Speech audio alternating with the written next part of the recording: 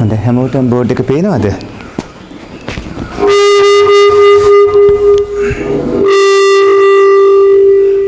පැහැදිලි නේද බෝඩ් එක හැමෝටම? ඇහෙනවද පිටිපස්සේ ඇයට? පොතක් පෑනක් එහෙම ළඟ තියෙනව නේද?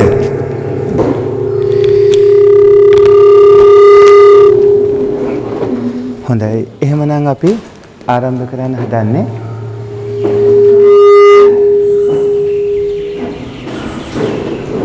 අපි වැඩසටහන ආරම්භ කරන්න කලින් නැවත මතක් කිරීමක් කරනවා. පටන් ගත්ත දවසේ ඉඳලා අන්තිම දවස වෙනකන් තියෙන ඔක්කොම කාරණා එකකට එකක් සම්බන්ධයි.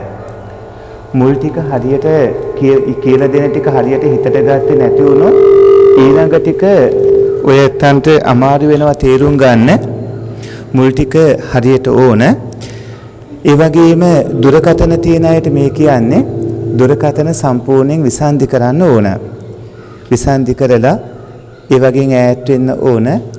ළඟ ඉන්න අයත් එක්ක කතා බස් කරන වගේ කාරණාවලට යන්නත් එපා කිසිම හේතුවක් මත. ඒ වගේම භාවනා කටයුතු වලට කියලා දෙන කමඨහන් ටික ඒ විදිහටම පුරුදු පුහුණු කරන්නත් ඕනේ. මුලින්ම කමඨහන් ලබා දෙන්න කලින් මූලික අවබෝධයක් ලබා දෙනවා කොහොමද මේ කටයුත්ත කරන්න ඕනි කියලා. මුලින්ම යන්න කලින් පාර කියලා දෙන්න හදන්නේ. පාර කියලා දීලා ඊට පස්සේ තමයි කරන විදිහ භාවනා කරන විදිහ කියලා දෙන්න හදන්නේ. දැන් බලන්න මේ අඳින මේ ලියන ටික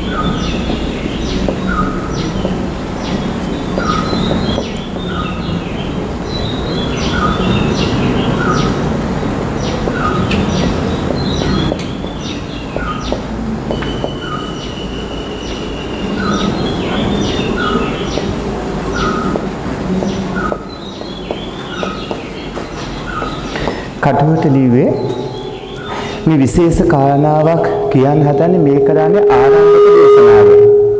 මූලික දේශනාවයි කරන්නේ මූලික දේශනාවේදී ඔය ඇත්තන්ගේ භාවනා මාර්ගයට අදාළ ඔක්කොම කාරණා ටික කෙටි කරලා කියලා දෙනවා. අපි මේ කරන්න හදන්නේ මෙන්න මේ වගේ වැඩපිළිවෙලක්. ඒ නිසා මෙන්න මේ ටික අනිවාර්යයෙන්ම සම්පූර්ණ කරගන්න ඕන. මෙන්න මේ විදිහටයි අපි වැඩ කරන්න කියන එක තමයි මේ ආරම්භක දේශනාවේදී කවුරුත් එක පැහැදිලි කරලා දෙන්නේ. මේ ලිව්වේ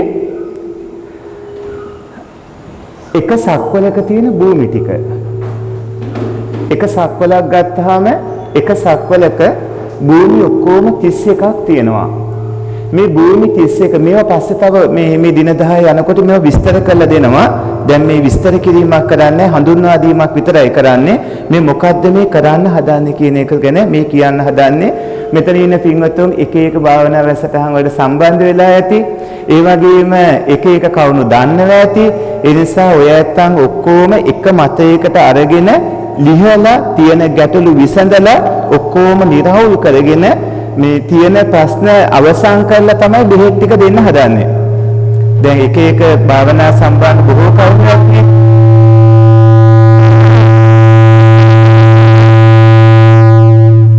ඒව විස්තර කරලා දීලා ඊට පස්සේ මේ භාවනා කමඨහන් ටික කියලා දෙනවා. දැන් මේ භූමි 31 කිව්වේ. භූමි 31 කියන්න බලන්න. නරක ඔව් ඕ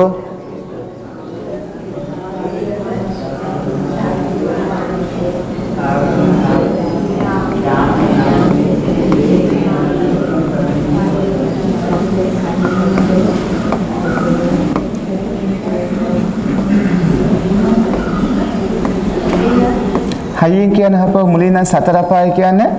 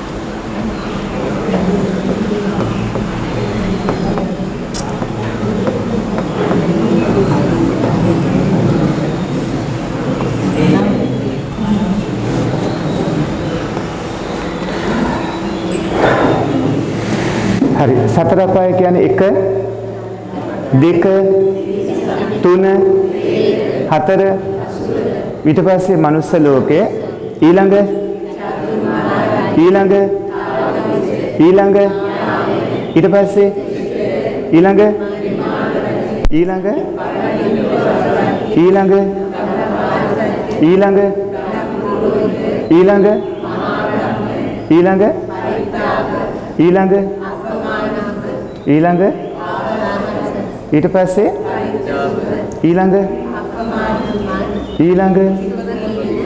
ඊළඟ? ඊළඟ? ඊට පස්සේ? මොනවද? අවිහ? අකනිට අරූපාවචර භූමි හතර මොනවද? පල්ලෙහා ඉඳලා. ආකාසානංචායතනේ විඥානංචායතනේ නිව සංඥා නා සංඥා එතන. හරි. දැන් මේ භූමි වලින් ඔය ඇත්තෝ ඉන්නේ කොතනද? මනුස්ස ලෝකේ. මනුස්ස ලෝකේ ඉන්න ඔය ඇත්තෝ අතර ඉන්නවා මෙන්න මේ වගේ කොටස් තුනක්. ඔබේ අම්මා තාත්තා දූ පුතුන් සහෝදර සහෝදරියන් නෑදෑයෝ යාළුවෝ හිතමිතුරු ඔබ ඉන්න සමාජයේ ඔය ඇත්තෝ අතර ඉන්නවා මෙන්න මේ වගේ පිරිසක්. මේ ඔබ ඔබ වටපිටාවේ ඉන්න කට්ටිය ති හේතුක, දි හේතුක, අ හේතුක සුගති. කවුරු කවුරුද?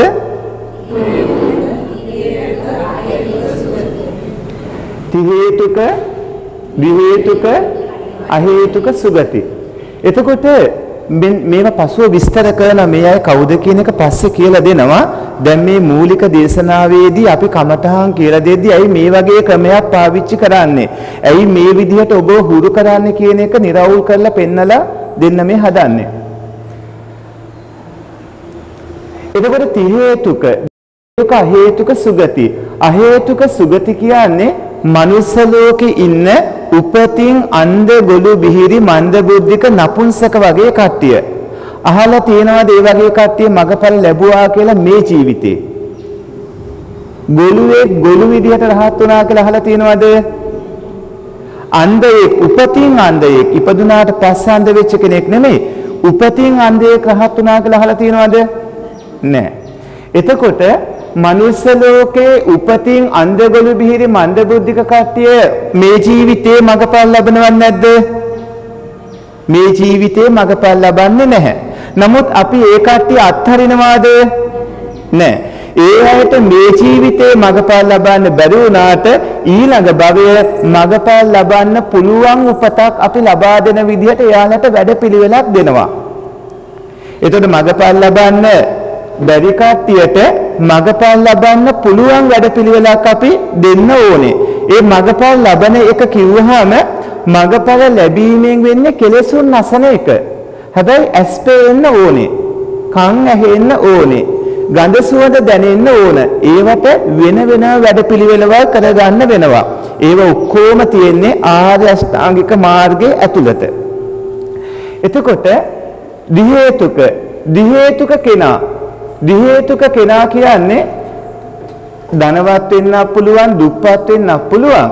හැබැයි ඒ කෙනාට මේ ජීවිතේ මගපල් ලබන්න බෑ මේ ජීවිතේ මගපල් ලබන්න බැරි කෙනෙක් ඉන්නවා දිහේතුක කියලා. එතකොට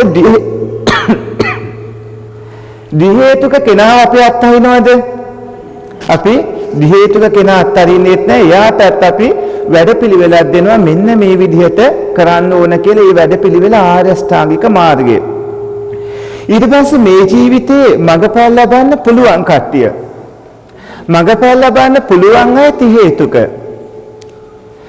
ති හේතුක මිනිස්සෙයින් මගපල් ලබන ගමනේදී අපිට හම්බ වෙනවා මෙන්න මේ වගේ හතර ගොල්ලක්. ඒ හතර ගොල්ලෙන් එක කට්ටියක් තමයි කර්මාන්තරාය. අනෙක් කට්ටිය ක්ලේශාන්තරාය. අනිත් අය ආඥාවතික්කමාන්තරාය. ඊට පස්සේ අනිත් කෙනා ආර්යෝපවාදාන්තරාය. මේව පස්සේ විස්තර කරනවා. දැන් නම් වශයෙන් විතරක් දැනගන්න මේ කියන්න හදන දේ විතරක් ගන්න. ඊට පස්සේ මේ කර්මාන්තරාය, ක්ලේශාන්තරාය, ආඥාවතික්කමාන්තරාය, ආර්යෝපවාදාන්තරාය මේ අයගෙන් පංච ආනන්තරය පාප කර්ම කරගත්ත එක්කෙනාට මේ ජීවිතේ මගපල් ලබන්න බෑ. මේ ජීවිතේ ති හේතුක වුණත් ආනන්තරය පාප කර්ම කරගත්ත කෙනාට මේ ජීවිතේ බෑ. නමුත් අපි එයාව අත්හරින්නේ එයාට ඊළඟ භවයේ බැරි වුණාට ඉක්මන් භවයක පුළුවන්. ඒ කියන්නේ ඉක්මන් භවයේ කරන විදිහට වැඩපිළිවෙලක් හඳුන්වලා දෙනවා ආර්ය අෂ්ටාංගික මාර්ගය කියලා. දැන් අම්මා තාත්තා ඝාතනය කරපු මිනිමරුවෙක් කියලා අපි අත්හරිනවද? නෑ එහෙම කරන්නේ අපි එයාලට වැඩපිළිවෙලක් දෙනවා ආර්ය අෂ්ටාංගික මාර්ගය කියලා ඉක්මන් භවයකම මඟපල් ලබන්න පුළුවන් වැඩපිළිවෙලක්. හැබැයි මේ තුන් දෙනාට පුළුවන්. ක්ලේශාන්තරාය ආඥාවතිකමාන්තරාය ආර්යෝපවාදාන්තරාය ඒ කට්ටිය ඒ වරදින් ගැලවෙන්න ඕනේ. හරි අපි කියමු දැන් ති හේතුක කෙනා වරදින් ගැලවිලා ආරෂ්ඨායික මාර්ගයට එනවා කියලා. එයා ආරෂ්ඨායික මාර්ගය තමයි එයාට තියෙන එකම මාර්ගය. එතකොට මේ මේ කට්ටිය මේ මේ ඔක්කොටම මේ ඉන්න තුන් සියලු දෙනාටම තියෙන එකම මාර්ගය ඔක්කොටම ආර්ය අෂ්ටාංගික මාර්ගය.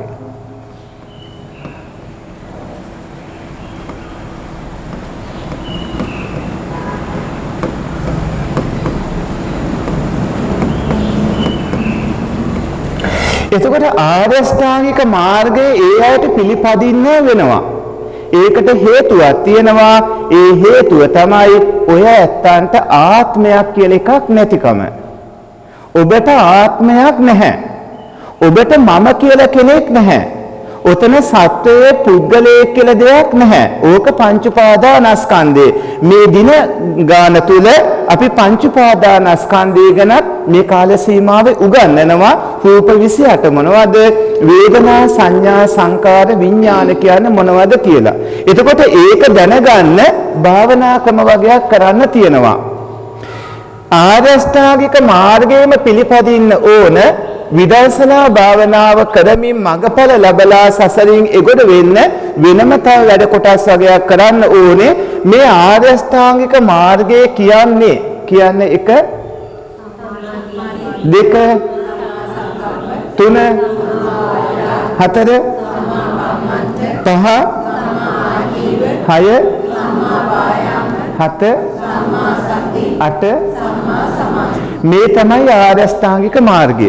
මේ ආර්ය අෂ්ටාංගික මාර්ගයේ පිළිපැද්දොත් මෙයාට ප්‍රතිඵල ලැබෙන්න ඕන. මෙයාට ප්‍රතිඵල තියෙන්න ඕනේ. මෙයාට ප්‍රතිඵල තියෙන්න ඕනේ. අපි භාවනා කරන්නේ මේ ඔක්කොම කට්ටියගෙන් ඔය ඇත්තෝ ඉන්න තැන ඉඳලා ඔය ඇත්තෝ දැන් ඔහොම ඉන්නකොට මෙතන ඉන්න පුළුවන් කලින් භවවල මව්පිය ඝාතනාදී ඒ කර්මවල විපාක තියෙන අය. ඒ වගේම සත්ත්ව ඝාතන, සොරකම් කිරීම, කාමී වාදව හැසිරීම එක එක දේවල් කරපු අය ඉන්න පුළුවන්. එතකොට ඒ වගේ විපාක අර අපි ඉස්සරහට මේ දින කීපේ ඉගෙන ගන්න ආත්මයක් නෑ මම කියලා කෙනෙක් නෑ සත්වයේ පුද්ගලයෙක් නෑ කියලා අපි ඉගෙන ගන්න ඒ පංච උපාදානස්කන්ධේ මේ වෙලාවෙත් ඔය ඇත්තන්ගේ තියෙන්නේ ධර්මතා මේ විඥාන පත්‍යා නාම රූපං විදිහට විඥානයේ නිසා ඇතිවන ධර්මතා 99ක්. ඒ 99න් 97ක්ම මේ ශබ්ද රූප දෙක අයින් කළාට පස්සේ මේ වෙලාවේ හේතුන්ගෙන් ඇතිව නැතිව ඇතිව නැතිව ඇතිව නැතුව තියෙනවා. උතන ශරීරයේ හෝ සිත්වල හෝ මේ එකටම වෙනස් වෙන්නේ නැතුව ස්ථීරව තියෙන කිසිම දෙයක් නැහැ. හැමදේම හේතුන්ගෙන් ඇති වෙලා නැති වෙලා ඇති වෙලා නැති වෙලා ඇති වෙලා නැති වෙලා යනකොට මෙන්න මේ ඉන්න කට්ටියගෙන් මෙන්න මේ ඉන්න පිරිසගෙන් ඔය ඇත්තෝ අතර තමයි මේ හැම කෙනාම ඉන්නේ. ඒ කියන්නේ ඔබ අතර මේ සියලුම දෙනා ඉන්නවා. සමහර වෙලාවට මෙන්න මේවා ගෙන් ඔය ඇත්තෝ ගොඩක් පීඩාවටපත් වෙන්න පුළුවන්. දැන් ක්ලේශාන්තරය කියවම රාගයෙන්, කේන්ති යෑමෙන්, ඊර්ෂ්‍යා විවිධාකාර කෙලෙස් වලින් එහෙම ඔබ වැහිලා ඉන්න පුළුවන්. විවිධ විදිහට තියෙන්න පුළුවන් කාරණා. දැන් මේ කිව්ව ටික තේරුණාද? හැමෝටම පැහැදිලිනේ? හරි. උන් ඊට පස්සේ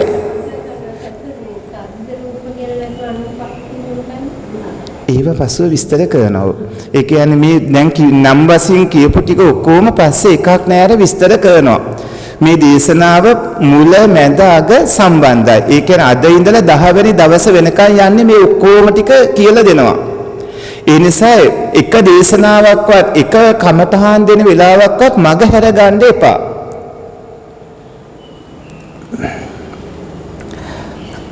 ඊට පස්සේ මේ ති හේතුක ද්වි හේතුක අ හේතුක සුගති කියලා කට්ටියක් ඉන්නවනේ.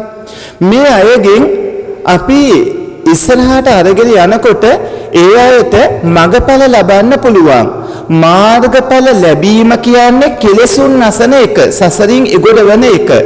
මාර්ගඵල ලබන කෙනා නැවත උපදින්නේ නැහැ. හැබැයි මාර්ගඵල ලබනකම් එයාගේ ඇස් පේන එක පේන්න ඕනේ. මාර්ගසිත ඇතිවීමෙන් ඇස් පෙනීම ආදී එක උපදවන්නේ නැහැ. මාර්ග සිතෙන් කන් ඇහෙන එක දෙන්නේ නැහැ. මාර්ග සිතෙන් කරන්නේ කෙලෙසුන් නැසන එකයි. මාර්ග හිතෙන් කරන්නේ කෙලෙස් නැසන එක. එතකොට මාර්ග හිත ඇති වෙන්න කරන වැඩ පිළිවෙලක් තියෙනවා. ඔය ඇත්තන්ගේ ආයුෂ ආහාර පාන නිදුක් නිරෝගීකම් ඕවා ලැබෙන්න තව වැඩ පිළිවෙලවල් තියෙනවා. දැන් මෙතනදී ආරෂ්ඨායික මාර්ගයේ මේ අංග 8ම විස්තර වශයෙන් දැනගන්න ඕන මේ කාල සීමාවේ. මේ 8ම දැනගන්න ඕනේ. 8ම දැනගෙන ඒ අනුව ජීවත් වෙන්න වග බලා ගන්න ඕන. ඊට පස්සේ ඔන්න එනවා අපි භාවනාවලට. භාවනාවලට එනකොට භාවනා තියන ප්‍රධාන වශයෙන් සමත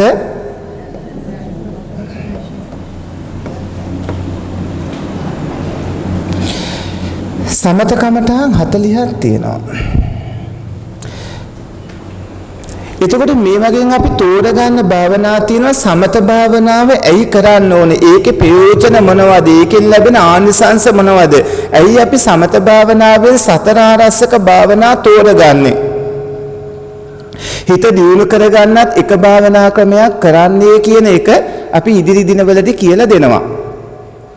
ඒ අතරි විදර්ශනා භාවනාව දැන් විදර්ශනා භාවනාවෙන් මේ ජීවිතේ මගපල් ලබන්න පුළුවන් මේ ඉන්න අයගෙන් කාටද?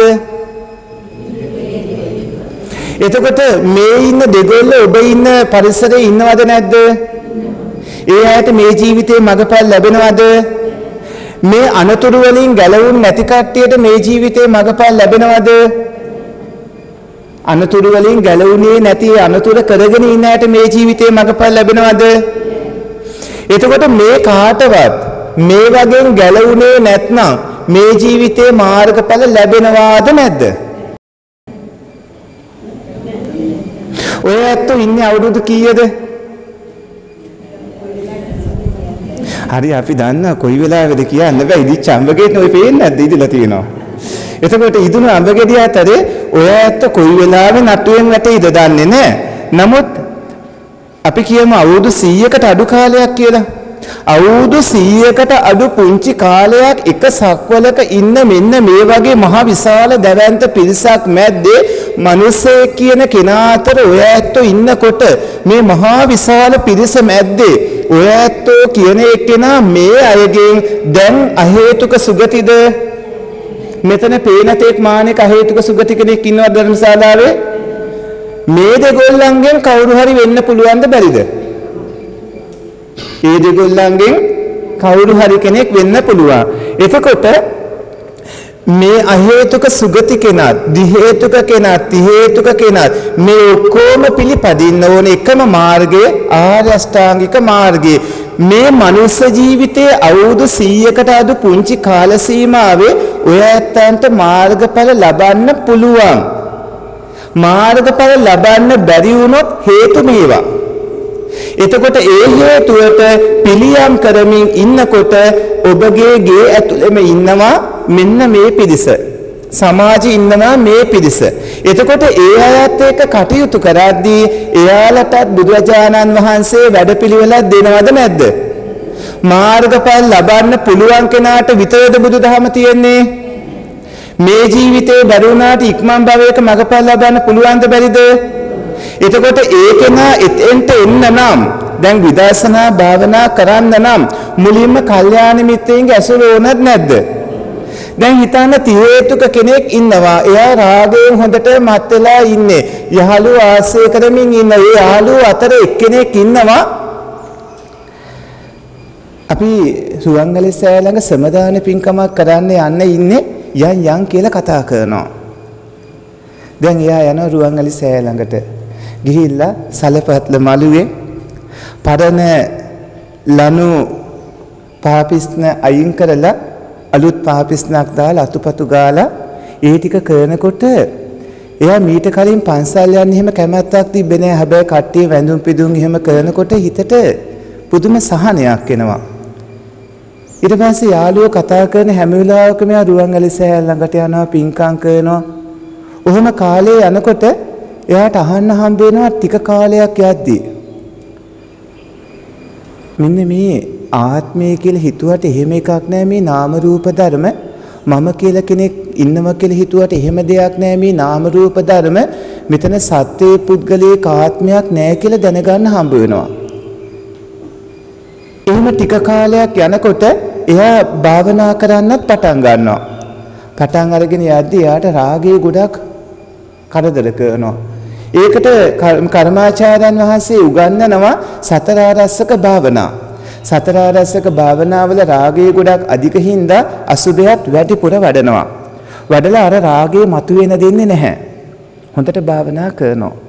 භාවනා කරගෙන විදර්ශනාවටත් හැරෙනවා. විදර්ශනාවටත් හැරිලා ඒ කෙනා ඉස්සරහට එනකොට විදර්ශනා භාවනාවේ පළවෙනි පියවර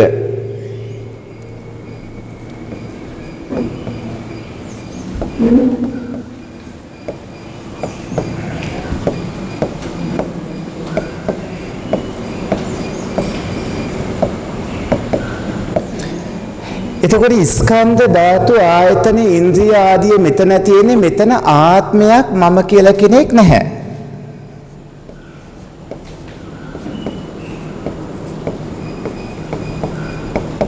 එතකොට එයා ditthi visuddhiය විදර්ශනාවේ ආත්මයක් කියලා කෙනෙක් මම කියලා කෙනෙක් සත්වයේ පුද්ගලයෙක් නෑ කියලා අවබෝධ කරගන්නවා.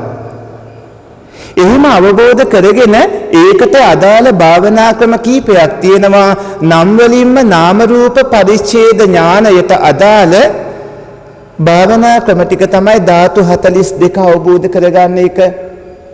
ඉරියාපත භාවනාව චතු සම්පජාන්නේ පටික්කුල මනසිකාරේ නවසීවතික ඔය වගේ භාවනා ක්‍රම කිහිපයක් කරන එක භාවනාවක් කරලා අවබෝධ කරගෙන ඊළඟ එකට යනවා.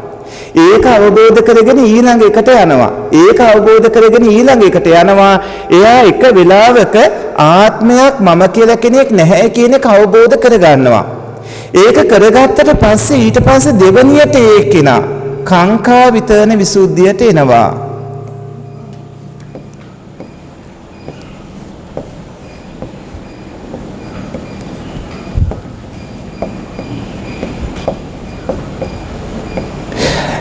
කාංකා විතරන විසුද්ධියට එනවා.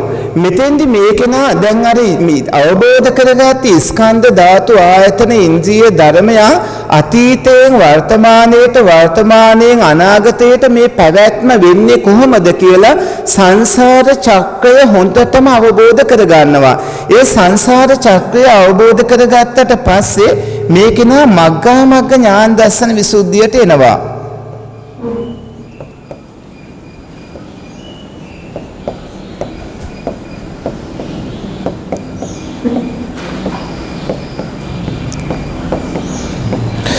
මග්ගා මග්ග ඥාන දර්ශන විසුද්ධියට එනවා.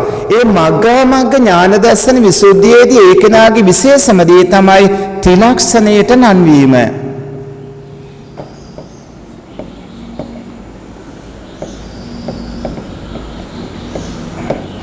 එයා ත්‍රිලක්ෂණයට නන්වනවා.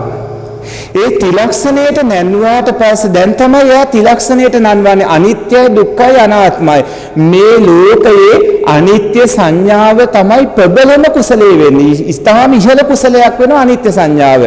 අනිත්‍ය දුක්ඛ අනාත්ම විදිහට ගන්න එක. දැන් අනිත්‍ය දුක්ඛ අනාත්ම විදිහට මේක නා තිලක්ෂණයට නන්වනවා. දැන් පටන් ගත්තේ කුසල් වල ආරස්ථායික මාර්ගේ. දැන් මේක නා ගොඩක් දුරට ඇවිල්ලා තිලක්ෂණය දක්වා අනිත්‍ය දුක්ඛ අනාත්ම දක්වාම ඇවිත් තියෙනවා.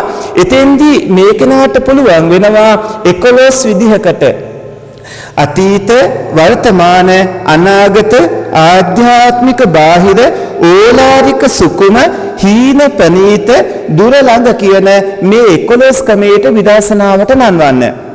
මේ කෙනාට පුළුවන් වෙනවා චත්තාලීසාකාර විපස්සනා ක්‍රමයට තිලක්ෂණයට නන්වන්න. මේ කෙනාට පුළුවන් වෙනවා ජීවිතයේ කොටස් 10කට බෙදලා තිලක්ෂණයට නන්වන්න.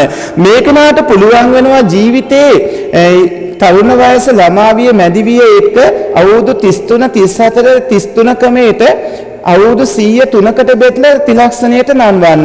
ඔහොම තිලක්ෂණයට නන්වමින් නන්වමින් අන්තිමට විදර්ශනා කරපු පළවෙනි හිතේ තිලක්ෂණය දෙවන හිතේ තිලක්ෂණය ඔය විදිහට දියුණු වීගෙන දියුණු වීගෙන අනිත්‍ය දුක්ඛ අනාත්ම විදිහට ඒක නා අවබෝධ කරගන්නවා. එහෙම අවබෝධ කරගෙන යනකොට උදේවි ඥානයේ ඇතිවන තරම්ම දියුණු වෙනවා. උදේවි ඥානයෙන් පස්සේ මේ සම්මර්ෂණ ඥානය මං කිව්වා මේ ආරම්භක දේශනාව මුළු වැඩපිළිවෙලම කෙටියෙන් හකුලලා කියන ක්‍රමය. ඊට පස්සේ තමයි අපි එකින් එක එකින් එක උගන්වන්නේ. උගන්වගෙන යනකොට ඔය පින්වතුන් දැනගන්න ඕනේ ස්වාමින් වහන්සේ ආරම්භක දේශනාවේදී අපිට පැහැදිලි කරපු ටික තමයි දැන් මේ කියලා දෙන්නේ අපි කරගෙන යන්න. මේ මාස 6කට අදාළ බෙහෙත් දෙන්නේ. දැන් වෛද්‍යවරයා දෙන්නේ මාස කීයකට අදාළ බෙහෙත්ද? ඔය ඔක්කොම ලෙඩ්ඩු. මෙතන ඉන්න එක එක අසනීප තියන අය ඉන්නවා. ඒ තියෙන අසනීපයට අදාළ බෙහෙත් ටික ඔක්කොම දෙන්න ඕනේ. කැස්ස තියේදී කැස්සට බඩේ අමාරුවක් දෙන බෙහෙත් දීලා හරියන්නේ නැහනේ. දැන් මල බද්දේ තියෙනකොට මල බද්දේ තියේදී බඩ බුරුල් වෙන්න බෙහෙතක් දෙන්න ඕනේ. බඩ බුරුල් වෙන්න බෙහෙත් දෙන්න ඕන කෙනාට කැස්සට දුන්නොත් ඒක හරිද? මල බද්දේට දෙන බෙහෙතක් කැස්සට දීලා හරියන්නේ නැහනේ. එතකොට මේ ඔක්කොටම මේ බෙහෙත තියෙන්නේ. මේ අපි එක්කෙනෙක්වත් අත්හරින්නේ නැහැ. ති හේතුක දි හේතුක හේතුක සුගති කිසිම කෙනෙක් අත්හරින්න බෑ. මොකද මේ මේ වැඩපිළිවෙලේ ඉන්න වෙනවා දැන් විදර්ශනා ඥානෙ මෙතෙන්ට එන්නේ ඊටම අතලස්සයි. දැන් 100ක් මැරතන් එකක් දිව්වොත් පළවෙනිය වෙන්නේ කී දෙනාද? මෙතෙන්ට එන්නේ අතලස්සයි. හැබැයි මෙතෙන්ට මේ වෙලාවේ මේ වෙලාවේ ඉක්මනට මේ වෙලාවේ එක්කෙනෙක් දෙන්නේ කාවට මේ ඔක්කොටම එන්න පුළුවන් මාර්ගය තියෙනවා මෙහෙම. සමහර කට්ටිය දන්සැල් දෙනවා, තව සමහර කට්ටිය මල් පහන් පූජා කරනවා. කියන්න බලන්න වන්දාමි චේතියන් ගාතාව.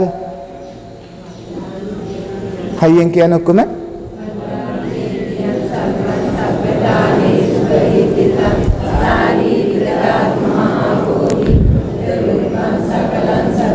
ශාරීරික ධාතු ඒ කියන්නේ භාග්‍යවතුන් වහන්සේගේ ශාරීරික චෛත්‍ය ධාතු චෛත්‍ය.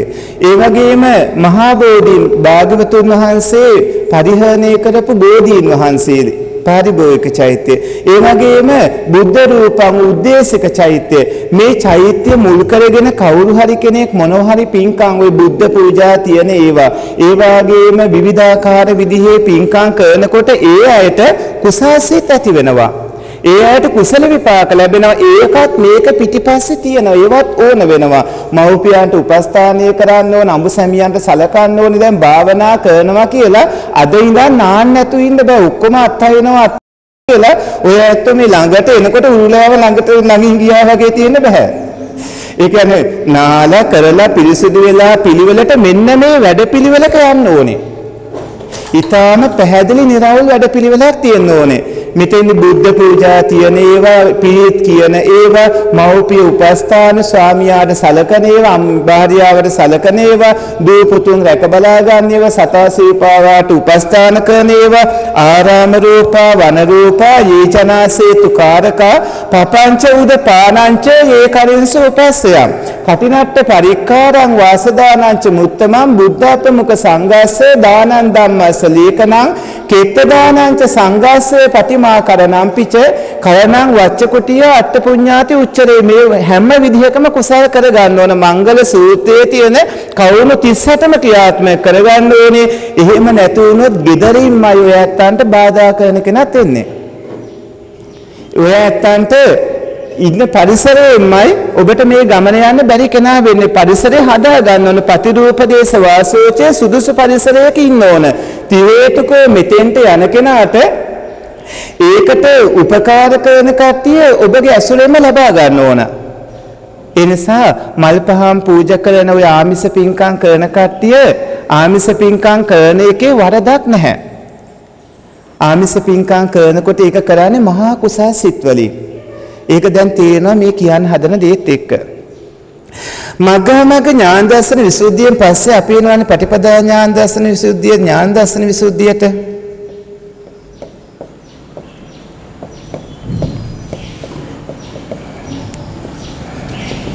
එතකොට මේ විදිහට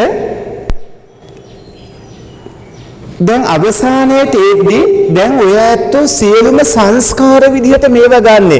විදර්ශනා භාවනාවේදී ආත්මයක් මම කියලා කෙනෙක් නෑ මේ ධාතු ආයතන ඉන්ද්‍රියයන් කියලා අරගෙන මේ එක එක භාවනා ක්‍රම කර කර කර කර අවබෝධ කර කර අවබෝධ කර කර ඉස්සරහට එනකොට අන්තිමට මේ ඔක්කොම සංස්කාර විදිහට අරගෙන හේතුන්ගෙන් හටගන්න සියල්ලම අනිත්‍ය දුක්ඛයි අනාත්මයි. අනිත්‍ය අනිත්‍ය අනිත්‍යයි කියලා අවසානට වඩනවා. හැබැයි මේ මොනවත් දන්නේ නැතුව මුලින් අනිත්‍ය අනිත්‍ය කිව්වට අවබෝධ වෙනවද? මොන්ටිසෝරියකට ගිහිල්ලා කවුරු හරි වැඩිහිටියෙක් කියනවා එයා උපාධි ගන්න ඕන උපාධි ගන්න ඕන කියලා. මොන්ටිසෝරි ළමයා කියනවා මම උපාධි ගන්නවා මම උපාධි ගන්නවා කියලා. එයාට ඉතින් මොන්ටිසෝරි නම් උපාධි ගන්නවා කියවට උපාධිය ලැබෙනවද? මොකද කරන්න ඕන? එකට දෙකට තුනට හතරට යන්න ඕනේ ඉහළට එන්න ඕනේ. එතකොට එහෙම ආවට පස්සේ තමයි අවසතයන්ට එන්න පුළුවන් වෙන අනිත්‍ය සංඥාව කිව්වහම අනිත්‍ය දුක්ඛ අනාත්ම විදිහට වඩන්න නම් ඒකේනා මේ ස්කන්ධ ධාතු ආයතන ආත්මය මම කියන දෙයට අදාළ කවුණු අවබෝධ කරගෙන චිත්ත අභ්‍යන්තරයේ බෝධිපාසික ධර්ම 37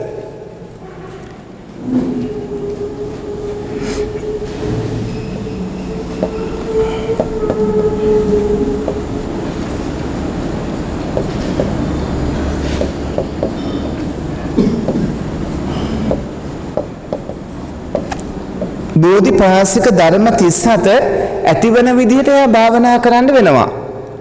ඒ විදිහට දියුණු වීගෙන එනකොට එක වෙලාවක් එනවා මේ සියලුම සංස්කාරයෝ අනිත්‍යයි අනිත්‍යයි අනිත්‍යයි කියලා වඩද්දී එයාගේ චිත්ත සන්තතිය ඇතුළත ඉන්ද්‍රිය ධර්මයක් සද්ධාව වැඩි වෙනවා.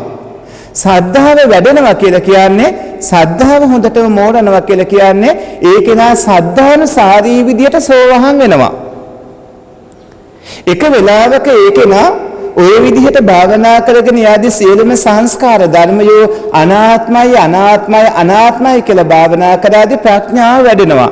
ප්‍රඥාව වැඩෙමින් ඒ මුල් කරගෙන ඒකනාගේ සෝහන් මාර්ගයේ සිද්ධ වෙද්දියා ධම්මානුසාරී වෙනවා. ඒ කියන්නේ අනාත්ම ලක්ෂණය. අනිත්‍ය මේක අනාත්ම. දැන් මේ දක්වා යනවා නම් මේ ලොකු වැඩ කොටස පහු කරගෙන එන්න ඕනේ. එතකොට ප්‍රශ්නයක් එනවා. අනේ අපේ හාමුදුරුවනේ මේ ඔච්චර දේවල් ගොඩක් කරන්න ඕනද? දාරුචීරී හාමුදුරුවර හිටගෙනමන මේ බුදුහාමුදුරන්ගෙන් බණපද දෙක තුනක් ඇහුණු ඔච්චර දේවල් අපි කරන්න ඕනද රහත් වෙන්න? ප්‍රශ්නයක් එනවනේ. ත්‍රිපිටකයේ දාරුචීරී මහරහතන් වහන්සේලා කී නමක් ඉන්නවද? ධර්ම ධර්මයේ දාරුචීරී මහරහතන් වහන්සේලා කී නමක් හම්බ වෙනවද? කියනවද? හිතගෙන වහා ධර්මාබෝධය ලැබුව යුතුම එක නමයි. ඒ එක නම කවුද? කල්ප ලක්ෂයකට කලින් ඉක්මනටම අභිඥා ලැබෙන බිස්සෝන් අතර අගතන්තර වෙනුවෙන් විවරණ ගත්ත රහතන් වහන්සේ නමක්. අවුරුදු 20000ක් කාලයක් මහානදම් පිරුව කාශ්‍යප බුදුරජාණන් වහන්සේ කාලෙත් මෙතන ඉන්නවද එහෙම විවරණ ගත්ත කට්ටිය? ඉන්නවනම් බුදුරජාණන් වහන්සේ මුණ ගැහිලා තනතුරු ලැබනව නේද? බැරි වුණු හින්දා නේද මෙච්චර කාල ඇවිල්ලා තියෙන්නේ. ඒ නිසා ඔය ඇත්තෝ මෙන්න මේ ක්‍රමයට කරගෙන යනකොට සමහර අයට පුළුවන් ඉක්මනටම මෙතෙන්ට එන්න. සමහර අයට යනවා සති මාස ගණන්, සමහර අයට අවුරුදු ගණන්. සමහර අයට මේ ජීවිතෙත් බැරි වෙනවා. ඉක්මන් භවයක පුළුවන් වෙනවා. හැබැයි ප්‍රතිඵල ඒකාන්තයෙන්ම ලැබෙනවද නැද්ද? ලැබෙනවාමයි. කවදා හරි ලැබෙනවා. අනාගත බුද්ධ ශාසනය බලාපොරොත්තු වෙමින් ඉන්න එපා. ඒ වගේම අනාගත නැවත මේ විවිධාකාර තන්තුරු ඒව බලාපොරොත්තු වෙන්න එපා.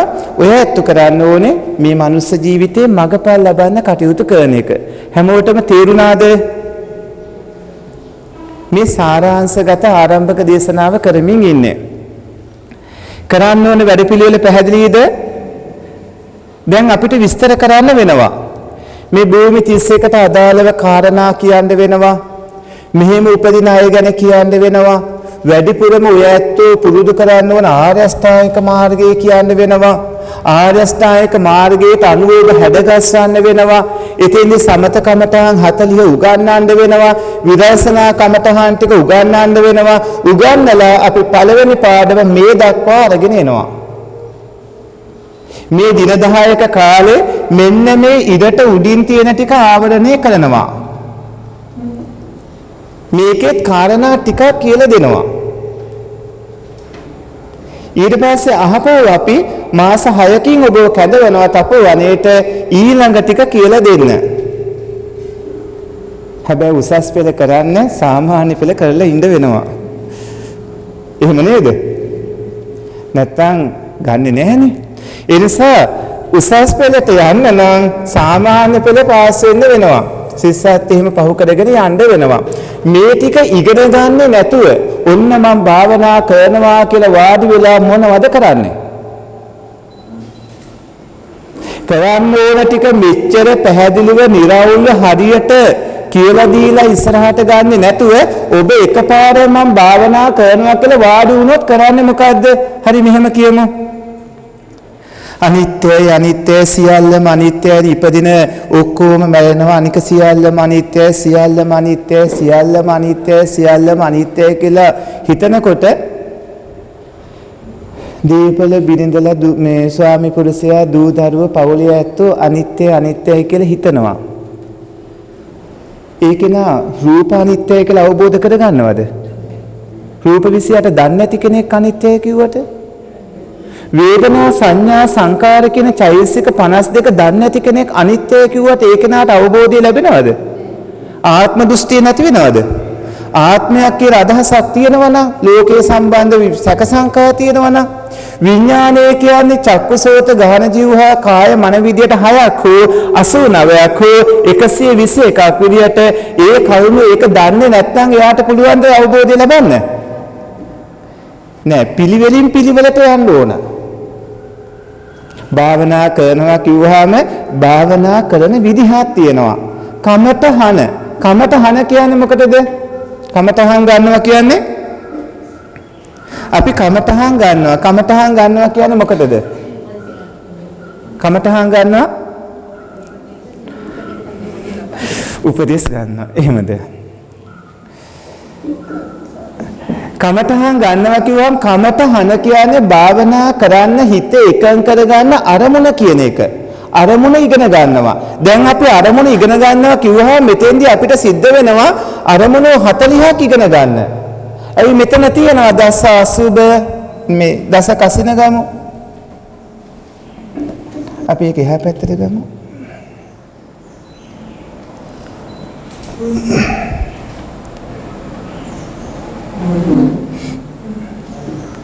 දැන් සමත භාවනා ගත්තාම සමත භාවනාවල ඔය ඇත්තන්ට තියෙනවා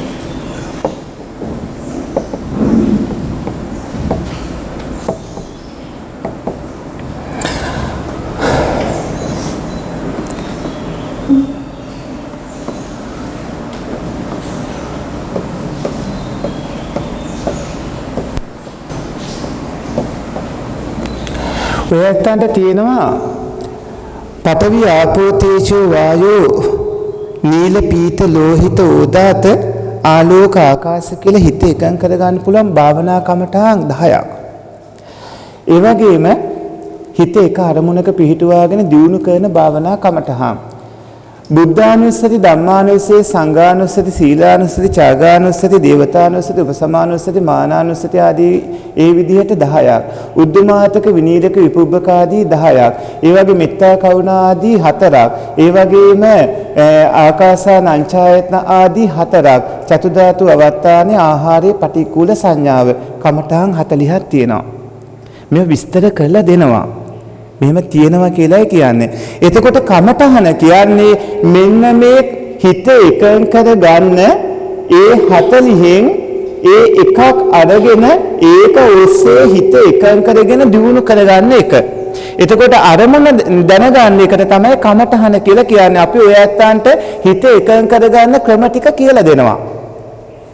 එහෙම කියලා දෙනකොට ඔබේ කමඨහන ගන්න ඕන කමඨහන් අරගෙන භාවනා කරන ඔබට අපි නමක් දෙනවා. ඔය ඇත්ත හඳුන්වන නම මොකද්ද? යෝගාවචරයා. කවුද? ඔය ඇත්තම හඳුන්වන නම අපි යෝගාවචරයා. යෝගාවචරයා කියන්නේ භාවනා කමඨහන අනුව භාවනා කරන කෙනා. යෝගාවචරයා. දැන් අපි පටන් ගත්තී අර ලොකු වැඩක් කරන්න තියෙනවා කිව්වනේ. දැන් අපිට තියෙනවා පටන් ගද්දී මෙන්න මේ වගේ අවබෝධ කරගෙන අවබෝධ කරගෙන මේ කෙටියෙන් තව ගොඩාක් තියෙනවා මෙතන කියන්න කාරණා උගන්වනකොට තේරෙයි ඔබට කියලා දෙද්දී අන්තිමට මාර්ගසිත ඇති වෙලා අකුණක් ගැහුවා වගේ ඒ කෙනා මගපල් ලබනකොට කෙලෙසුන් නැත්තටම නැති වෙලා යන අවස්ථාවක් එනවා. මගපල ලබනකොට සෝවහන් මාර්ගයෙන් අහපව ඇති වෙන්නේ නැති විදියට නැති කරන කෙලෙස් වගේක් තියෙනවා. සකදාගාමී මාර්ග හිතනොත් නැවත ඇති වෙන්නේ නැති විදියට නැති කරන කෙලෙස් වගේක් තියෙනවා. අනාගාමී මාර්ග හිතනොත් එහෙමයි. රහත් වෙනකොට සියලුම කෙලෙසුන් නැසනවා හැබැයි ඉතිරි වන සිත් ටික ක්‍රියාසිත වෙනවා. ඉතිරි වෙන්නේ කුසාසිත. ඒ කුසාසිත ක්‍රියාසිත වෙනවා. අකුසාසිත ඔක්කොම විනාශ කරනවා. සංයෝජන ධර්ම සියල්ල විනාශ වෙනවා. හැබැයි රහත් වෙනකොට මේ භාවනා මාර්ගයෙන් කෙලෙසුන් නැසනකොට ඒ වෙලාවෙත් ඇස් දෙක පේන කර්මජ රූප ටික පහළ වෙනවා. කන් ඇහෙන කර්මජ රූප පහළ වෙන්න ඕනේ. ගඳ සුවඳ දැනෙන කර්මජ රූප පහළ වෙන්න ඕනේ. යම් දවසක පුඤ්ඤ පාපේ පහීනස්ස විදියට සෝවාන් මාර්ගයෙන් ටිකක් කෙලස් නැසනකොට සකදාගාමි අනාගාමි මාර්ග වලින් ටික ටික කෙලසුන් නැසනකොට සම්පූර්ණයෙන්ම පින් ඔක්කොම අනාගත භවයක නැවත විපාක දෙන්නේ නැති විදියට පින් ඔක්කොම අහෝසි කරලා දාන පව් ඔක්කොම අහෝසි කරලා දාන අවස්ථාව තමයි රහතන් වහන්සේගේ අනුපාසේස පරිනිර්වාණය පව් සියල්ලම රැස්වන එක නතර කරන පව් පින් රැස්වන එක නතර වෙනවා රහත් වෙනකොට. හැබැයි රහත් වුණාට පස්සේ අනුපාසේස පරිනිර්වාණය වෙනකන් වර්තමාන ස්කන්ධ පවතිනවා. කිව් එක තේරුණාද? රහතන් වහන්සේ නමක් වෙනකොට ඔක්කොම කෙලෙසුන් නැති කරනවා කියන්නේ ඉතිරි වෙන්නේ කුසාසිත කුසාසිත ක්‍රියාසිත බවට පත් වෙනවා. අකුසාසිත ඉවරටම ඉවර වෙනවා. එතකොට රහතන් වහන්සේගේ වර්තමාන ස්කන්ධ විතරක් අනුපාසේස පරිනිර්වාණය වෙනකම් පවතිනවා. ඒ ඒ පීනුවන් පෑමෙන් ඒ ස්කන්ධයන්ගේ පැවැත්මක් නැති වෙනවා. අපි මේ ස්කන්ධ ස්කන්ධ ස්කන්ධ කියන එකට අදාළ ඔක්කොම දැනගන්න ඕනේ. ඒ ටික නම් කටපාඩම් කරලා හරි ඉගෙන කියා ගන්න ඕනේ දැනගන්න ඕනේ. අර ඉස්සර ස්වාමීන් වහන්සේලා භාග්‍යවතුන් වහන්සේ මුණ ගැහෙනකොට බුදුරජාණන් වහන්සේ ළඟින් මේ ඔක්කොම ඉගෙන ගන්න නැත්නම් අනිත් ස්වාමීන් වහන්සේලා ඉගෙන ගන්න කොහොමද භාවනා කරන්නේ? ඊට පස්සේ වනාන්තර වලට වඩනවා. මාස ගණන් කැල ඇතුලේ ඉන්න මේ ඉගෙනගත්ත විදිහට භාවනා කටයුතු සිද්ධ කරනවා. දැන් ඔය ඇත්තන්ට අපි මේ ටික මේ කාංකා විතරන විසුද්ධිය පටිච්ච සමුප්පාද ධර්මා බෝධිය දක්වා උගන්වනවා. ඉගෙන ගත්තට පස්සේ මාස 6ක් ඔය ඇත්තන්ට ඇති ගෙදර. මාස 6ට වඩා එක දවසක් ගන්න එපා. පුළුවන් තරම් කාලය අඩු කරගන්න. අඩු කරගෙන ස්වාමීන් වහන්සේ පවරපු පැවරීම් ටික හරි මම මේ ටික නම් අවබෝධ කරගත්තා කියලා අපිට දැනුම් දුන්නාම අපි ඊට කලින් වැඩසටහනට කැඳවනවා. එතකොට දෙවෙනි කණ්ඩායමට පවරන ටික සම්පූර්ණ කරගන්න ඕන.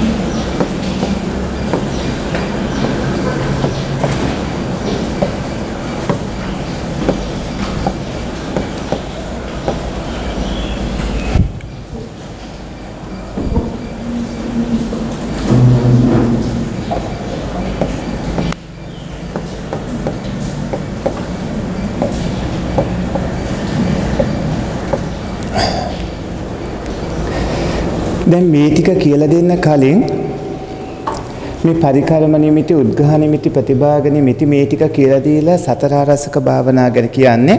ඊට කලින් මට මෙන්න මේක තේරුණාද කියලා කියන්න පළවෙනි කලින් පිටුවට යා.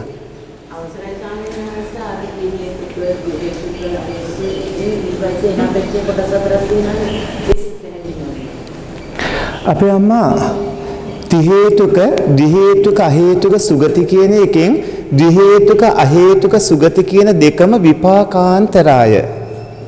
දැන් ඊයේ මනුස්ස ලෝකේ පෙර කර්ම විපාකයක අනතුරු හින්දා එහෙම ඉපදිලා ඉන්න අය මේ ජීවිතේ මගපල් ලබන්න බැරි විපාකාන්තරාය. ඊට පස්සේ ති හේතුක කට්ටියට ති හේතුකයෙන් හතර ගොල්ලක් හැදෙනවා කර්මාන්තරාය ක්ලේශාන්තරාය ආඥා වතික්කමාන්තරාය ආරූප වාදාන්තරාය කියලා මේ අනතුරු පහම මගපල් ලබන්න ඉඩ දෙන්නේ නැති කාරණා. එතකොට මේ පහෙන් මේ හතර කර්මාන්තරාය ක්ලේශාන්තරාය ආඥා වතික්කමාන්තරාය ආරූප වාදාන්තරාය ඒ ති හේතුක කට්ටියගේ තියෙන අනතුරු ස්වභාවය පැහැදිලිද? කර්මාන්තරාය ක්ලේශාන්තරාය ආඥාවතික්කමාන්තරාය ආඩියෝපවාදාන්තරාය. හොඳයි. දැන් තේරුම් නොතේරුම් ටික කියන්න බලන්න. ආඥාවතික්කමාන්තරාය. ආඥාවතික්කමාන්තරාය. දැන් බලන්න එක සක්වලක් අරගෙන සක්වලේ භූමි 31ක් අරගෙන 31 මිනිස්සෙ වුණු ඔය ඇත්තු අතර ඉන්නව ඔබේ එදිනදා සමාජ ඔබට මුණ ගැහෙන ති හේතුක දි හේතුක අ හේතුක සුගති කට්ටිය. ඒ අය කතා කරන ඒවා තියෙනවා ඒ අය කියන ඒවා තියෙනවා ඒ කට්ටිය ඔබ ඇසුණු සුළු කරනවා. එතකොට ඒ කට්ටිය ඔය ඇත්තාගේ රාගය අවිස්සන විදියට කතා කළොත් ඔය ඇත්තාන්ට මෙතෙන්ට එන්න බැරි වෙනවා. ඒ අය ඉර්ෂ්‍යාමාන ආදී ඇතිවන විදිහට කළොත් එහෙම ඉන්න බැරි වෙන ඔය ඇත්තාන්ට කුසල් අකුසල් කියලා සිත් වර්ග දෙකක් තියෙනවා. ඒකෙන් අකුසල් සිත් නිතරම ඇතිවන විදිහේ පරිසරයක් තිබුණොත් අමාරුයි මෙතෙන්ට එන්න. ඒ නිසා තමයි ආමිස ප්‍රතිපatti දෙකම තියෙන්නේ. භාවනා කරනවා කියලා භාවනා කරලා මේ ප්‍රතිඵලය ඒකාන්තයෙන් ලැබෙන මේ ජීවිතේ රහත් වෙන්න පුළුවන් බැයිද? භාවනා කළොත් ති හේතුක නම් හරියට කළොත් මේ ජීවිතේ රහතන් වහන්සේ නමක් රහත් තේනින් වහන්සේ නමක් වෙනවද නැද්ද? ඒකාන්තයෙන්ම වෙනවා. ඔය ඇත්තෝ භාවනා කළොත් මේ ජීවිතේ ඒකාන්තයෙන්ම රහතන් වහන්සේ නමක් රහත් තේනින් වහන්සේ නමක් වෙනවා. නමුත් gedara ඉන්න සුනකයා අරගෙන ඒ සුනකයාව රහත් කරවන්න පුළුවන්ද? ඇයි එයා දැන් තිරසන් සතේ බැරි තැනක ඉපදලා ඒ වගේම අහේතුක සුගති දිහේතුක කෙනාට පුළුවන් දේ දේ කරන්න. ඒ වුණාට ඔය ඇත්තන්ට බැරිද ඒ කට්ටියට ඊළඟ භවයක ගෙම්බා ඊළඟ භවයේ සෝවහන් වෙන තැනටපත් උන්නේ නැද්ද? ගග්ගරය පුකුණිවුරේ මණ්ඩුක. එතකොට මුව මිගපෝතක වත්තුවේ මුව ඊළඟ භවයේ බලන්නකෝ ඒ ඒ නායක හාමුදුරුවන්ගේම සහෝදරිය කුසේ ඉපදලා බලන්නකෝ ඒ උත්තම පින්වතුන් වහන්සේ නමක් වෙච්ච හැටි. එතකොට මේ වගේ ඔය ඇත්තෝ ඉන්න පරිසරයේ ඉන්න හැමෝම ගැන හිතලා ඒ හැමෝටම තම තමන්ගේ ප්‍රමාණයට විතරයි පුළුවන්. අර කට්ටිය රාගය ගොඩාක් අධිකයි. ඒකේනා මෙතෙන්ට එන්න විවිධ පින්කම් කරන්න ඕන විවිධ විදිහට ඒකට කුසල් කරන මොන හරි ක්‍රම ටිකක් තියෙන්න ඕන. දැන් ඔක්කොටම එකපාර අරගෙන මේ ටික කියන්න ගියොත් මේ ඔළුවට බරක් නෙමෙයිද? ටික ටික පුරුදු කරලා පුහුණු කරලා මෙතෙන්ට ගන්නකොට මේ වචන ටිකවත් දන්නවද? වචන ටිකවත් දන්නේ නැති මිනිස්සේ කරගෙන අනිත්‍ය සංඥාව පුරුදු කරන්න කිව්වොත් හරිද? නෑ යාව ටික ටික ගන්න ඕනේ. එතකොට ඔබේ පරිසරය තුල ඉන්න විවිධාකාර කට්ටිය විවිධ විදිහේ ආමිස පින්කම් කරනකොට ඔබ ඕක කරන්න එපා කියලා බනිනවාද? ආමිස පින්කම් කරනකොට ඒක නිඳා කරනවද? එතකොට භාවනා කරනකොට ඔය ඇත්ත මෙන්න මේ භාවනා කරන බුදු වෙන්නද කොහෙද රහත් වෙන්නද කොහෙද කියලා කිව්වොත් එහෙම නිඳා කරනවද? ඔබට කවුරු හරි එහෙම කිව්වොත් කේන්ති ගන්නවද? නෑ සියලුම දෙනා ගැන අවබෝධයෙන් වැඩ කරන්න ඕනේ. මේ ගමන සම්පූර්ණයෙන්ම අවබෝධයෙන් ඉස්සරහට යන්න ඕනේ. මුළු ජීවිතේම පින්කමක් කරන්න ඕනේ ලැබෙන ප්‍රතිඵල ගොඩයි. ඇඟ හිත පුතුම තරම් පහසු වෙනවා. ලෙඩ රෝග හැදෙන්නේ නැහැ. ඒ ඔය මොනවාරි පිළිකා වගේ භයානක ලෙඩ රෝග ඒක ඇස්සේ හෙම්බිරිස්සා වගේව නෙමේ. ඒ වගේම ඔය ඇත්තන්ට ලැබෙන ප්‍රතිඵල අති විශාල හුඟක් විශාල ප්‍රතිඵල ගොඩක් ලැබෙනවා. භාවනාවෙන් භාවනාවට බුද්ධානුස්සති භාවනාව කියලා දෙනකොට ඒකේ ආනිසංස ටිකත් අපි පෙන්වලා දෙනවා මෙන්න මේකයි ලැබෙන ආනිසංස. මෛත්‍රී ආනිසංස 11ක් කියලා දෙනවා. අසුභයේ මානානුස්සති ආනිසංස ටිකක් කියලා දෙනවා. ආනාපාන සති වර්තන විදි ඒ ටිකක් කියලා දෙනවා. ඒ වගේම විදර්ශනා භාවනාවට අදාළ ඒකානාත් කියලා දෙනවා. निराවුල්ව තේරුම් ගන්න ඉස්සරහට යන්න ඕනේ ආර්ය අෂ්ටාංගික මාර්ගයෙන්මයි. ආර්ය අෂ්ටාංගික මාර්ගය රෙන්න වෙන ක්‍රමයක් නැහැ. ගැටි ගැටි බෑ රණ්ඩු වෙවි බෑ මොකද මේ ඉන්න තුන් ගොල්ලම ඉන්න හින්දා. මේ අය මේ අයත් ඉස්සරහට ගන්න පුළුවන් වැඩපිළිවෙලක් තියෙන්න ඕනේ. බුදුරජාණන් වහන්සේ තෝරගත්තේ මගපල් ලබන්න පුළුවන් කෙනාම නෙමෙයි.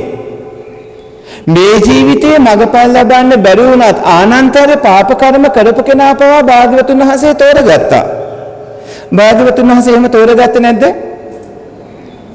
ආනන්තර පාප කර්ම කරපු අජාසත් මහරහතුමා පවා මේ ගමනට තෝරලා ගත්තේ නැද්ද? අජාසත් මහරහතුමා අනාගතයේ පස්සේ බුදු කෙනෙක් දේවදත්ත හාමුදුරන්ට පවා අවස්ථාව දුන්නා. ඒ වගේ එක එක්කෙනා එක එක විදිහට ඒ කෙනාගේ නාම රූප පැටලිලා තියෙන්නේ. අන්තෝ ජටා බහි ජටා ජටාය ජටිතා පචා තන්තං ගෝතම පුච්චාමි කෝ ඉමං විජටේ ජටං සීලේ පතිට්ඨාය ගාතාව දේශනා කළ ඒකනේ. දැන් පැහැදිලිද හැමෝටම? ප්‍රශ්න තියෙන ඒවා අහන්න.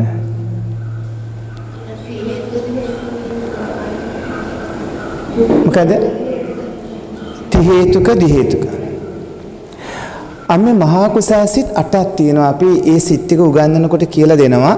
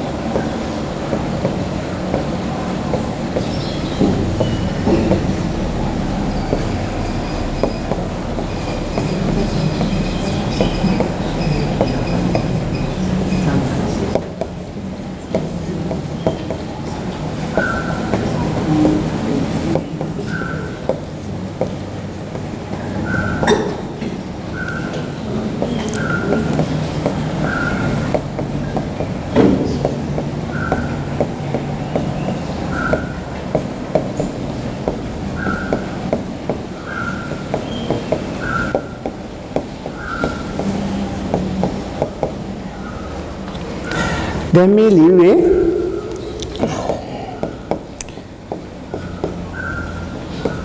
සතුන් මැරීමෙන් වැළකීම, සොරකම් කිරීමෙන් වැළකීම, කාමීවාදව හැසිරීමෙන් වැළකීම, බුදු කීමෙන් වැළකීම, කේලාම් කීමෙන් වැළකීම, සරපවස වචන කතා කිරීමෙන් වැළකීම, හිස් වචන කතා කිරීමෙන් වැළකීම, කේන්ති යන්නේ නැතිකම, ඒ වගේම තරහා යන්නේ නැතිකම, මේ කේන්ති තරහ. ඒ වගේ දැඩි ලෝභයක් නැතිකම, සම්මා දිට්ඨිය ඒ වගේ මෞපිය උපස්ථාන අඹසැමි යුතුයකම් කරුණා මෛත්‍රිය ඇතිව කටයුතු කිරීම ඒ වගේම භාවනා කිරීම ආදී මේ ලෝකේ තියෙන හොඳ යහපත් හැම දෙයක්ම කරනකොට කරන සිත් ටික තමයි මේ ලිව්වේ.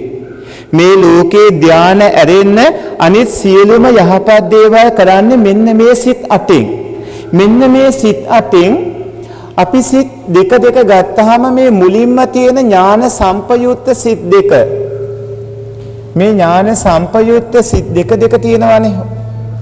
මේවා ඇවිල්ලා 30 හේතුක.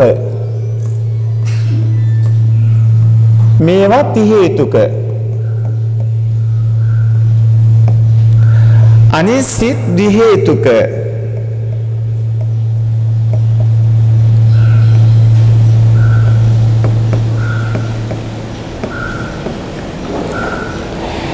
එතකොට තිහේතුක කියන්නේ මේ සිත්වල දැන් පළවෙනි වෙලාවෙම ලොකු බරක් තියන්නේ නැහැ. මේ සැහැල්ලුවෙන් ටික ටික යමු ඉස්සරහට හරිම සරලයි මේ දින 10 වෙනකන් තීරෙන්නේ නැහැ කියලා යන්නේම හදන්නේ නැහැ කවුරුත්. දවස් 10ම ඉන්න ඕනේ. මේ හැමදේම පැහැදිලිව සරලව කියලා දෙනවා. මේ මේ අම්පේ අම්මා අහපු ප්‍රශ්නේ දැන් මේ වෙලාව උගන්වන්න සූදානමින් හිටිය දෙයක් නෙමෙයි මේක. නමුත් අහපු ප්‍රශ්නෙට උත්තරේ දෙන්න ඕනනේ. එතකොට අන්න ඇහුවේ ති හේතුක දි හේතුක වෙන්නේ කොහොමද කියලානේ. ති හේතුක කිව්වහම මේ විදිහට අලෝභය අදෝසය අමෝහය කියන හේතු තුනම ප්‍රබලව තියෙන හිත් ති හේතුක වෙනවා.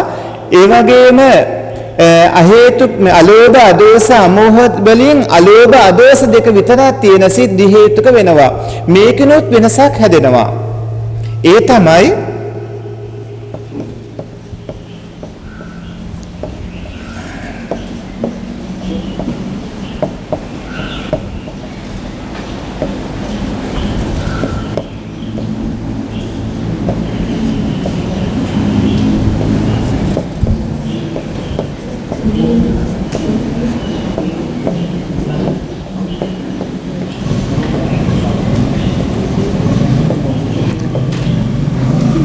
පල්ලෙහා ටිකක් අකුරු අපැහැදිලි. ඒක හරි බල මං කියන්නම්ක වචනේ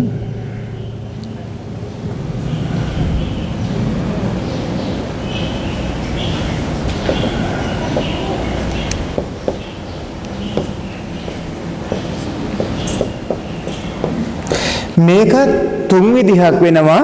ති හේතුක උත්කෘෂ්ඨ ති හේතුක ඕමක දි හේතුක උත්කෘෂ්ඨ දි හේතුක ඕමක කියලා. ති හේතුක උත්කෘෂ්ඨ ති හේතුක ඕමක කිව්වේ මෙන්න මේ මේ ති හේතුක සිත් දෙක අලෝභ අදෝස අමෝහ කියන හේතු තුන හුඟක් ප්‍රබලව කෙරුණොත් ඒකට ලැබෙන්නේ ති හේතුක උත්කෘෂ්ඨ හිතට ති හේතුක විපාකයක්. ති හේතුක ඕමක හිතට ඒ කියන්නේ දුර්වලව යෙත්නොත්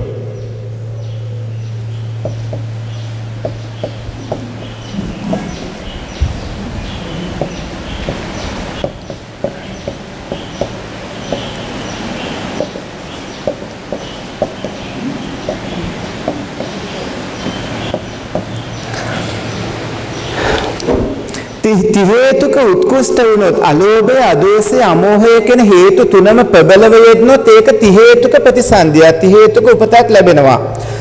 ති හේතුක ඕමක අලෝභය අදෝසය අමෝහය දුර්වල වුණොත් ඒ වගේම දි හේතුක උත්කෘෂ්ඨ අලෝභය අදෝසය ප්‍රබලව තිබුණොත් ඒක දි හේතුක උපතක් අලෝභය අදෝසය දුර්වලව යෙදනොත් ඒක අහේතුක සුගති ප්‍රතිසන්දියක් ලැබෙනවා. ඔය පින්කම් කරනකොට මේ වගේ අය අපිට හම්බ වෙන ඕන තරම් ප්‍රබල විදිහට පින්කම් කරනවා, දුර්වල විදිහට පින්කම් කරනවා, හුඟාක්ම දුර්වල විදිහට පින්කම් කරනවා. ඒ වගේ කට්ටිය අපිට හම්බ වෙනවා. මේ තමයි ති හේතුක වෙන විදිහයි, දි හේතුක වෙන විදිහයි. සි මේ ලෝකේ ඕනෑම යහපත් දෙයක් කරන ප්‍රධාන සියලුම යහපත් දේවල් කරන ප්‍රධාන කුසාස හැම දෙයක්ම කරන මහා කුසාසිත 8ක් තියෙනවා. 8න් 4ක් ති හේතුකයි 4ක් දි හේතුකයි. එතකොට ති හේතුක සිත් 4 වේවා දි හේතුක සිත් 4 වේවා. ඒ වාගෙත් හේතු ප්‍රබලව යෙදෙන ඒවා තියෙනවා දුර්වලව යෙදෙන ඒවා තියෙනවා. ප්‍රබලව යෙදෙන කුෂ්ඨයි දුර්වලව යෙදෙනොත් ඕනකයි. ති හේතුක උත්කෘෂ්ඨ නම් ති හේතුක ප්‍රතිසන්දියක් ලැබෙනවා. දි හේතුක ඕනක නම් දි හේතුක උත්කෘෂ්ඨ නම් දි හේතුක ප්‍රතිඵලයක් ලැබෙනවා. දි හේතුක ඕනක නම් අ හේතුක සුගති ප්‍රතිඵලයක් ලැබෙනවා. හැබැයි මේ අයගෙන් මෙන්න මේ කියන තුන් ගොල්ලටම මේ අයට මේ ජීවිතේ විතරමයි ඒ අයට බැරි වෙන්නේ මගඵල ලබන්න. හැබැයි ඊළඟ ජීවිතේත් බැරි වෙනවාද පුළුවන් වෙනවාද කියන එක තීරණය වෙන්නේ දැන් කරන කියන දේවල් අනුව. ඊළඟ ජීවිතේ සහ ඒක එයාට බැරිම වෙන්න පුළුවන්. හැබැයි කරන කියන දේවල් අනුවයි ඒක සිද්ධ වෙන්නේ. භාවනා කරනකොට ඔය ඇත්තන්ට අවබෝධ වෙනවා එක වෙලාවක කර්මසිත ඇති වෙනවා ඒ සිත නිසා චිත්තකිරිය වායෝ ධාතුව ඇති වෙනවා ඒක නිසා ඇති වෙනවා කාය වචී විඤ්ඤාති ඒක නිසා අටකට සූරෙන් ඒ අදාළ කටයුත්ත කරනවා. නැත්නම් වචන පිට කරනවා. ඒ ඒ කාරණාත් ඒ භාවනාත් කියලා දෙනවා අපි. ඒ ඒ කරුණොත් අවබෝධ වේ පැහැදිලිද? පැහැදිලි නේද?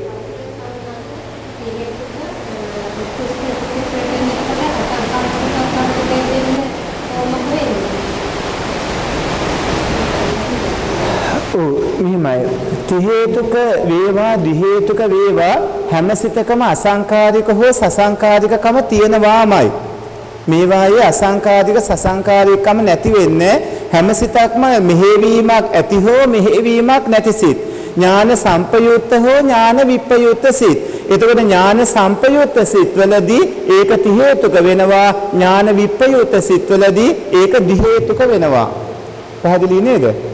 මේ අභිධර්මය උගන්වන වෙලාව නෙමෙයි අහපු ප්‍රශ්නටයි උත්තර දුන්නේ.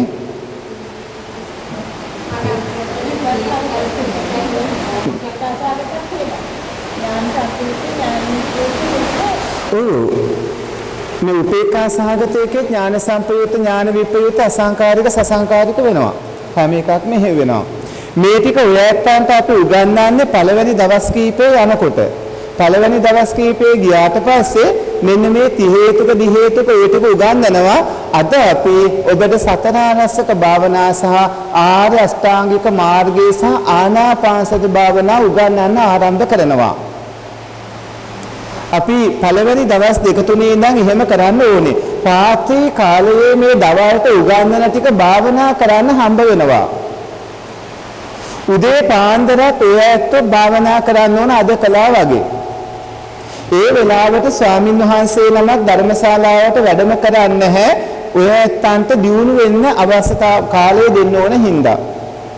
අන්තිමට අපි ඔබට කොලයක් පෑනක් දෙනවා. දින 10 ඉවර වෙද්දී. ඒ කොලේ පෑනේ ඔය ඇත්තන්ගේ අත්දැකීම් ලියන්නත් ඕනේ.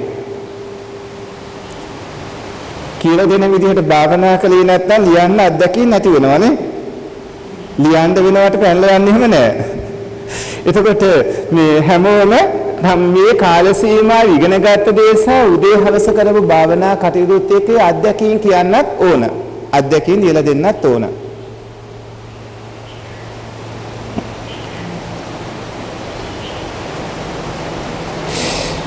ඊට පස්සේ පරිකාරම උද්ඝහ ප්‍රතිභාග නිමිති ගැන කියන්න හදන්නේ. තේරුණාද? තව මොනවද තියෙනවද දැනගන්න? මේ කියලා දුන්න ටික පැහැදිලිද?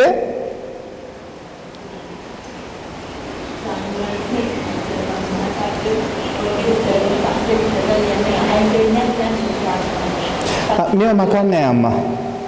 මකන්නේ ලියා ගන්න පුළුවන්.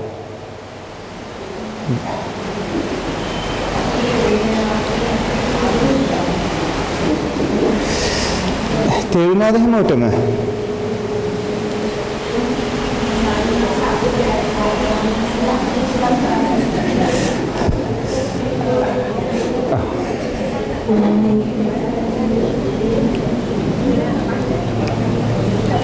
අනෙක් කට්ටිය ළඟට ඇවිල්ලා ලියන්න මේ ළඟට ඇවිල්ලා මේ බලා ගන්න මම මේ නිකන් කටුවට වගේ ලස්සනට ලිවෙන නිකන් ලියාගෙන ලියාගෙන ලියාගෙන ගියා. ඔය ඇත්තෝ මේ ඒ ටික බලා ගන්න. ඔන්න දැන් අහපව වෙනවා මුලට.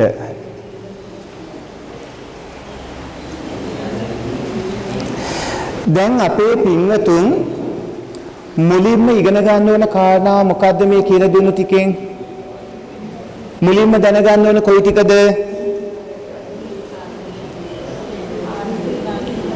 මුලින්ම දැනගන්න ඕන මොකද්ද? ආ මොකද්ද? මගපල් ලබන්න පුළුවන්ද? නෑ. 31 භූමියක් නෙමෙයි.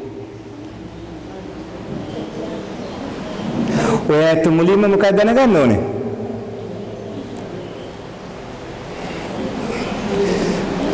මුලින්ම කරන්නේ මොකක්ද කියලා දැනගන්න ඕන. කරන්නේ මොකක්ද කියලා දැනගන්න නම් කරන්න තියෙන මොකද්ද? ජීවත් වෙන්න ඕන කොයි විදිහද? ආර්ය අෂ්ටාංගික මාර්ගය. මුලින්ම ඔබ දැනගන්න ඕන මොකද්ද? ආර්ය අෂ්ටාංගික මාර්ගය. මුලින්ම දැනගන්න ඕනේ ආර්ය අෂ්ටාංගික මාර්ගය. ආර්ය අෂ්ටාංගික මාර්ගයේ දැනගන්න එකත් එක්කම සමගාමීව සිල් රැකීමේ ආනිසංස සහ සතර ආරස්සක භාවනා සහ ආනාපාන සති භාවනා ඒක විදර්ශනාවට හරවන විදිය කොහොමද සමතයෙන් විදර්ශනාවට යන්නේ භාවනාවලදී සමත භාවනාව විදර්ශනා භාවනාව ඒ වගේම යුගනද්දකමේ කියන ওই ක්‍රම තුනටම අදාළ විස්තර දැනගන්න ඕනේ. අපි එහෙමනම් මේ දවසේ මේ දවස් දෙක තුන ඒකට යොදා ගන්නවා. භාවනා කරන කාලේ හොඳටම භාවනා කරන්න. කිසිම කෙනෙක් කිසිම කෙනෙක් එක කතා කරන්න යන්න එපා. දුරකථන කිසිම හේතුවක් මත ශබ්ද වෙන්නේ දෙන්න එපා. දුරකථන භාවිතාව අයින්ම කරන්න.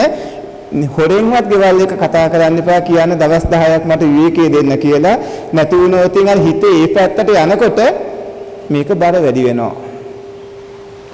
හිත තනිකර නිදහස තියාගන්න. මේ දින 10 ඉවර වෙනකොට ඔය ඇත්ත විශාල වෙනසකටපත් වේ. හැමෝටම පැහැදිලිද?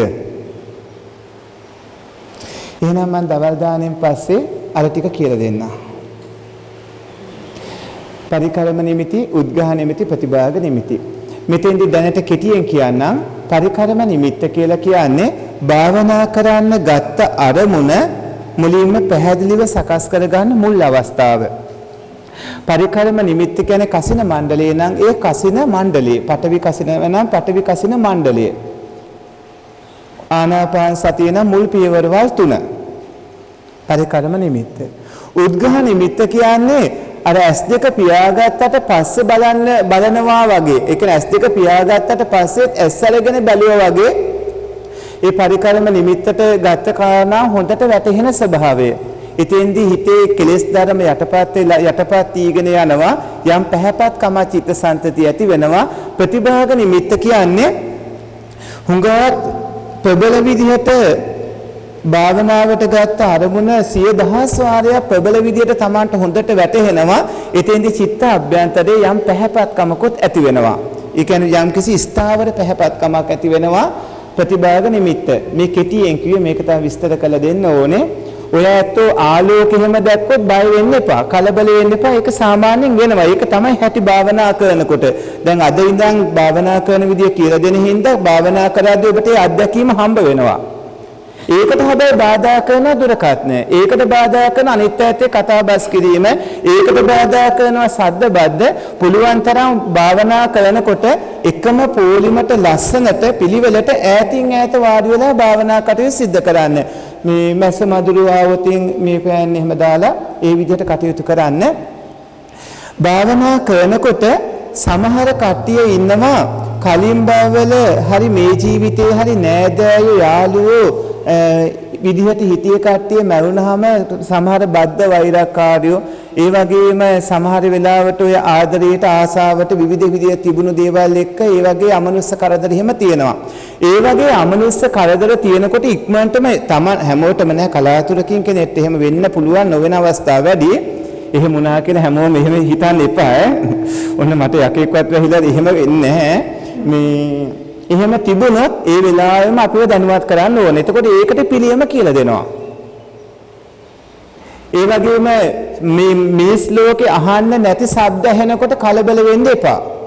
අහන්න නැති ශබ්ද ඇහෙනකොට ඒව අහන්න යන්න එපා. ඒක නතර කරන්න ඕන. අහන්න නැතුව භාවනා කරන භාවනාව මොන හේතුවකටවත් නතර කරන්න එපා. භාවනා කරන එක නතර කරන්න එපා. ඒ අත්දැකීම් එනකොට ඒ අත්දැකීම් වලට අවශ්‍ය පිළියම් ටිකයි කර කර ඉස්සරහට යන්න ඕනේ.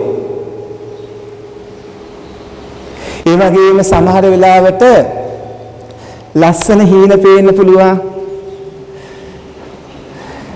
හීනෙන් ඇවිල්ලා කතා කරන්න පුළුවන් මේ භාවනා කරන දවස්වලදී පණිවිඩ දෙන්න පුළුවන්.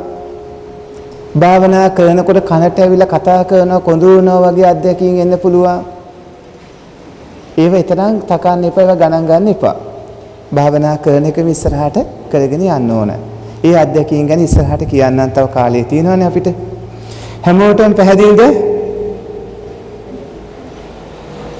හොඳයි. එහෙමනම් අද දවල් කාලේ සතර ආරස්සක භාවනා ආනාපාන සති සහ ඒ භාවනා ක්‍රම වලට වෙන් වෙනවා. හොඳයි එහෙනම් කවුරුත් කටයුතු කරමු.